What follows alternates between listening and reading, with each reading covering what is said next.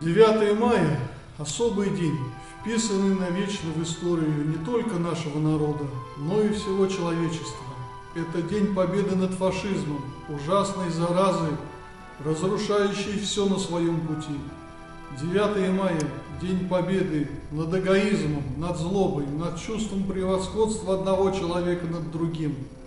Это день памяти о великой силе самопожертвования – о подвиге простых людей, которые подарили нам это мирное небо.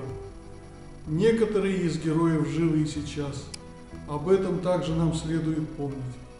Приглашаю всех 9 мая в клуб, на митинг, на торжественный митинг минувших лет «Живая память», посвященный 72-й годовщине победы в Великой Отечественной войне. Начало митинга в 9.30. По окончании митинга в клубе состоится концертная программа. Победившим смерть посвящается.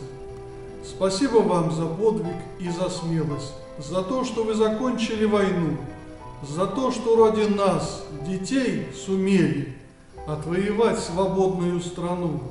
Улыбки светятся, прочь уходят беды, медали на груди горят огнем, с 9 мая, с Днем Победы, с еще одним счастливым, мирным днем. Спасибо. Ждем вас всех на митинге.